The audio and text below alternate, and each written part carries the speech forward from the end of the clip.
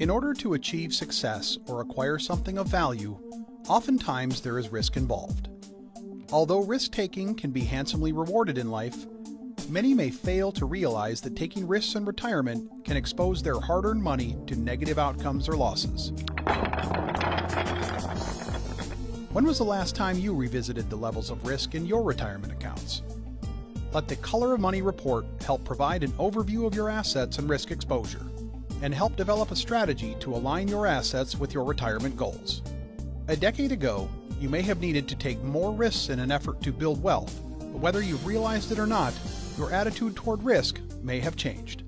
It's possible your assets may be exposed to more risk than they should be, leaving the possibility of building your retirement strategy on an unstable foundation. Reevaluate your risk exposure with the Color of Money Report, a cutting edge tool to help ensure your assets are properly aligned with your goals.